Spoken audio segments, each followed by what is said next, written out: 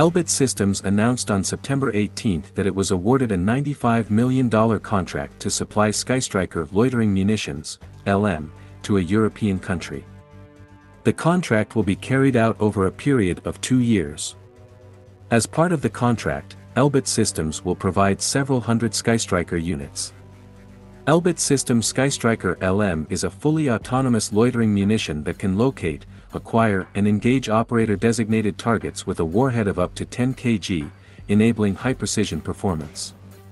Skystriker can be launched from a variety of ground and aerial platforms, including from a dedicated canister on Elbit Systems PULS, Precise and Universal Launching System, rocket artillery systems. Equipped with an electrical engine, the Skystriker enables covert operations of up to 2 hours and with a range of 100 kilometers. The system can precisely strike targets while maintaining a man-in-the-loop even in GPS and communication-denied environments.